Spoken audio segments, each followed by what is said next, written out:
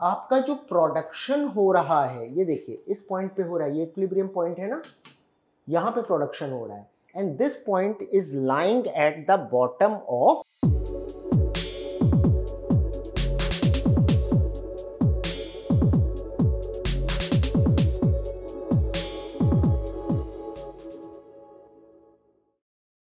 Hello everyone, a very good afternoon. Welcome to Plutus IAS guys. Guys, in the series of past year questions of economics optional, this is another video for you. Okay. So guys, today we are going to discuss monopolistic competition. आज monopolistic competition की बात करेंगे that what actually monopolistic competition, what are the features of monopolistic competition, how we can determine the price and output in monopolistic competition. ये सारी चीज़ें इस video में discuss करके मोनोपोलिस्टिक कंपटीशन को कंप्लीट कर लेंगे एंड आपको पूरा समझ में आएगा। ये टॉपिक एकदम इजी हो जाएगा आपके लिए। So let's get started so अगर हम मोनोपोलिस्टिक कंपटीशन की बात करें तो समझिए as its name is suggesting ये कॉम्बिनेशन है दो चीज़ों का। Monopolistic okay monopolistic competition now, this is the combination of monopoly monopoly हम लोग ऑलरेडी डिस्कस कर चुके हैं। एक और वीडियो में इसी सीरीज़ के आप उसको रिफर कर सकते हैं। So it is the combination of monopoly and perfect competition और परफेक्ट कंपटीशन भी हमने इसी सीरीज़ में डिटेल में डिस्कस किया है। आप उन वीडियोस को रेफर कर सकते हैं। तो मोनोपोलिस्टिक कंपटीशन में फीचर्स होंगे। दोनों ही मार्केट स्ट्रक्चर्स के, यानी कि मोनोपली के as well as perfect competition के, ठीक है? सो अब देखते हैं कि क्या फीचर्स हैं मोनोपोलिस्टिक कंपटीशन के। Right what are the features of monopolistic competition so सब first of all here we have differentiated goods ठीक है ना? और ये डिफ्रेंशिएटेड गुड्स वाला जो एस्पेक्ट है ये मोनोपली का होता है राइट right? इसी वजह से मोनोपली पावर भी आती है। So here we have the concept of differentiated goods ठीक है? और क्योंकि यहाँ पे डिफ्रेंशिएटेड गुड्स हैं गाइस इसलिए ध्यान दीजिएगा, इसका डिमांड कर्व और डिमांड कर्व मार्केट स्ट्रक्चर में ए आर कर्व होता है, इसका डिमांड कर्व इस तरीके से होगा sloping downwards okay same as that was in monopoly. Got my point second aspect है इसका कि यहाँ पे फ्री एंट्री एंड एग्जिट होगी फर्म्स की। Now this is the aspect of perfect competition.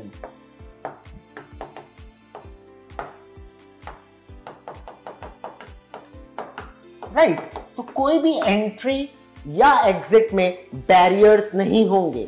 Right third is यहाँ पे अगेन परफेक्ट कंपटीशन का ये एस्पेक्ट है large number of buyers and sellers buyers and sellers large number में मौजूद होंगे मोनोपोलिस्टिक कंपटीशन में भी, ठीक है? देन गाइस एक यहाँ पे स्पेशल फीचर है, ये नॉन प्राइस कंपटीशन होगा। यानी कि फर्म्स आपस में कॉम्पीट करेंगी, लेकिन प्राइस को लेकर के नहीं। फर्म्स प्राइस रिड्यूस या इंक्रीज नहीं करेंगी अपने प्रोडक्ट का राइट रेदर फर्म्स एडवर्टीजमेंट के थ्रू hmm, कोई स्पेशल फीचर अपने प्रोडक्ट में ऐड करके। For example if you purchase the bottle of let's say ketchup तो आपको साथ में एक मिनी पैक में चिली सॉस भी मिलेगा। समथिंग एक्स्ट्रा यूल गेट और you'll get 20 percent extra in that bottle तो इस तरह के कुछ एडिशनल फीचर्स का यूज़ किया जाएगा कॉम्पीट करने के लिए मार्केट में। प्राइस को लेकर के कोई भी कंपटीशन नहीं होगा राइट नेक्स्ट एस्पेक्ट है यहाँ पे कि seller has the control over the prices right seller price को कंट्रोल करेगा।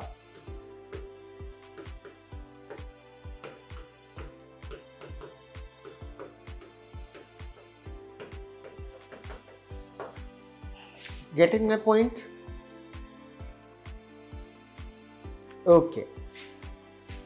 और एक और स्पेशल या अंडरस्टूड है, इसी में आ जाता है, पर फिर भी आप अलग से लिख लीजिए कि यहाँ पे एडवर्टीजमेंट एक्सपेंडिचर भी होगा एडवर्टीजमेंट एक्सपेंडिचर मतलब कि क्योंकि फर्म्स प्राइस को लेकर के कॉम्पीट नहीं कर रही हैं प्राइस का सिनेरियो ही नहीं है यहाँ पे तो फिर कंपीट करने के लिए वो अपने प्रोडक्ट का ज़्यादा से ज़्यादा एडवर्टीजमेंट करेंगी।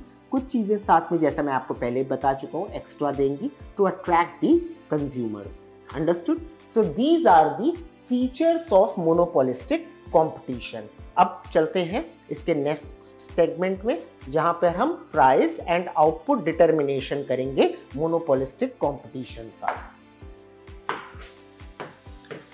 So so,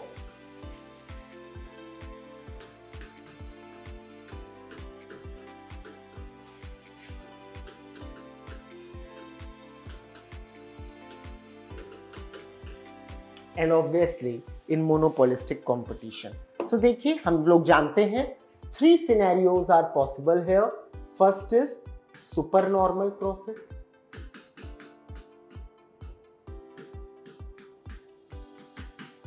Second is profit.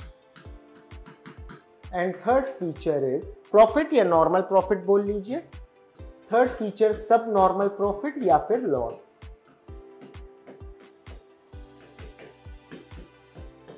Okay okay? अब जरा देखिए, मैं एक एक करके सारे फीचर्स को आपके साथ डिस्कस करता हूँ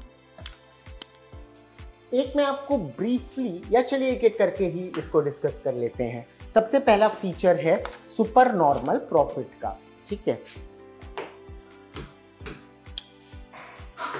So first aspect is your super normal profit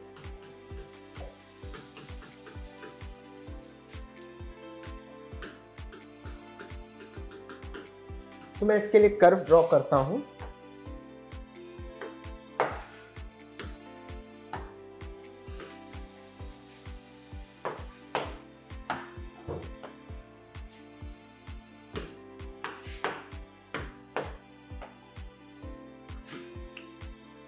Here we have price, here we have output. ठीक है? अब देखिए। मैंने आपको पहले ही बताया था सप्लाई यहाँ पर मोनोपोलिस्टिक कंपटीशन हो रहा है। सप्लायर का कंट्रोल है प्राइसेस के ऊपर। ठीक है? डिफ्रेंशिएटेड गुड्स हैं। तो यहाँ पर जो आपका डिमांड कर्व होगा, वो डाउनवर्ड स्लोपिंग होगा।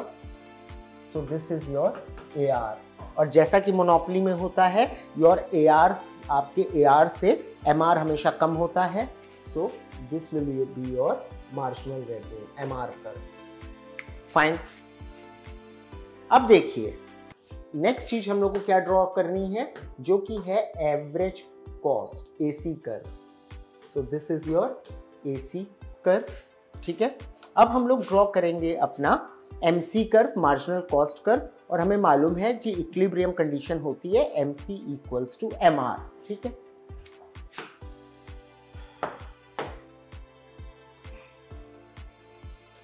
This is your marginal cost curve if you pay attention इस पॉइंट पे M C equals to M R है, यानी ये एक इक्विलिब्रियम पॉइंट है, ठीक है? इस पॉइंट पे ही हमें क्वांटिटी मिल जाएगी राइट right? इसको अगर मैं ऊपर की तरफ़ एक्सटेंड करूँ तो ये देखिए, इस लाइन ने इंटरसेक्ट किया एवरेज कॉस्ट कर्व को at a point let's call this point as L ठीक है? तो एल पे आपको कॉस्ट मिल जाएगी कि क्या कॉस्ट आ रही है गुड मैन्युफैक्चर करने की। और इसी को अगर आप फिर ऊपर की तरफ़ एक्सटेंड करेंगे तो यहाँ पर let's call it as M point M पर ये लाइन इंटरसेक्ट कर रही है अपने एवरेज रेवेन्यू कर्व को, यानी ये हमारा प्राइस हो गया। ठीक है? इस प्राइस पे सेल हो रहा है। तो ये जो एरिया है आपका this is going to give you super normal profits ठीक है? ये हमारा सुपर नॉर्मल प्रॉफिट हो गया।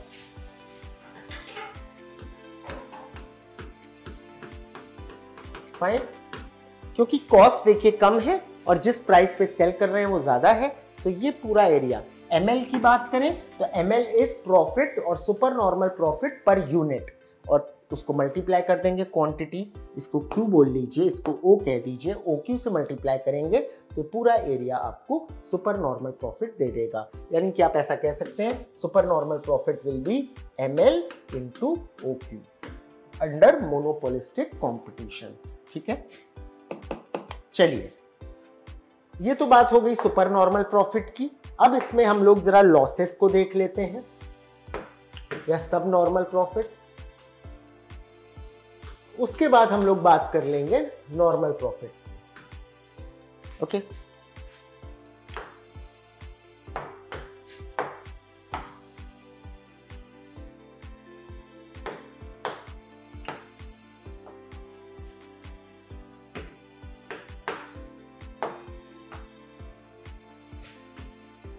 प्राइस हो गया, ये हमारी क्वांटिटी या आउटपुट हो गया यहाँ पे। डिमांड कर्व डाउनवर्ड स्लोपिंग है। ये हमारा मार्जिनल रेवेन्यू है, ठीक है? अब देखिएगा, यहाँ पे average cost will be greater than average revenue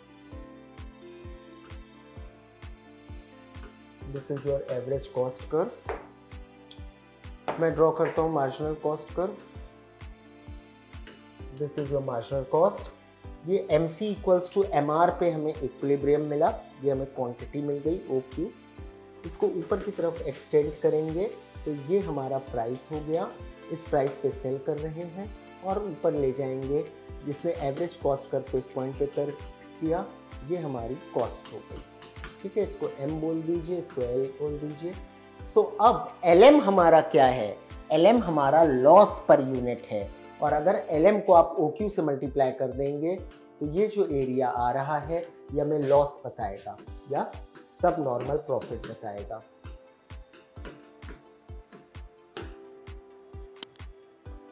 understood चलिए अब बात करते हैं मोनोपोलिस्टिक कंपटीशन के अंडर में जब नॉर्मल प्रॉफिट्स आते हैं normal profit scenario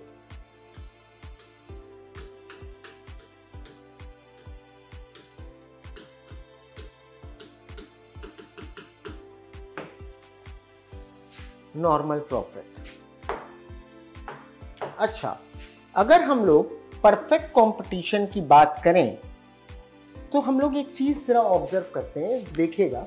अगर परफेक्ट कंपटीशन की बात करें in case of perfect competition ठीक है? दिस इज़ फॉर थोड़ा बड़ा बन गया, छोटा बन गया। पीसी मींस परफेक्ट कंपटीशन मैंने शॉर्ट में लिख दिया है बस।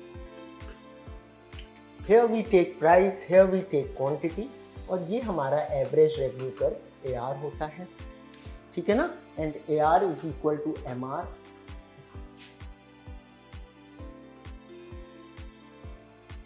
ये मेरा एवरेज कॉस्ट कर्व हो गया और ये marginal cost curve cutting it from below ये इक्विलिब्रियम क्वांटिटी आ गई और ये प्राइस आ गया। ठीक है? यही होता है परफेक्ट कंपटीशन के केस में राइट right. अगर आप इस कर्व को ऑब्ज़र्व करें तो आप एक चीज़ पाएँगे कि आपका जो प्रोडक्शन हो रहा है, ये देखिए, इस पॉइंट पे हो रहा है, ये इक्विलिब्रियम पॉइंट है ना? यहाँ पे प्रोडक्शन हो रहा है। And this point is lying at the bottom of average cost curve ये देखिए, अगर ये मेरा एवरेज कॉस्ट कर्व है, मैं इसको आउटलाइन करे दे रहा हूँ येलो से तो यहाँ पे देखिए प्रोडक्शन हो रहा है एवरेज कॉस्ट कर्व के बॉटम पॉइंट पे। इसका मतलब production is done at the minimum cost production is done at the minimum cost यानी मिनिमम कॉस्ट पे जितना मैक्सिमम प्रोडक्शन किया जा सकता है, वो किया जाता है परफेक्ट कंपटीशन में right whereas if we talk about monopolistic competition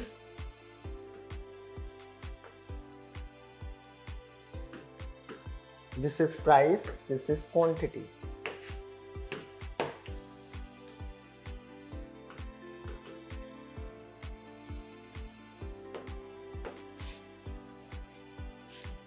ठीक है?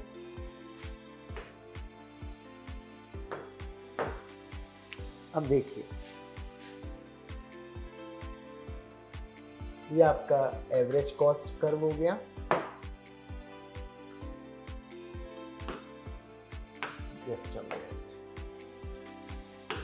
ये आपका एवरेज कॉस्ट कर्व हो गया।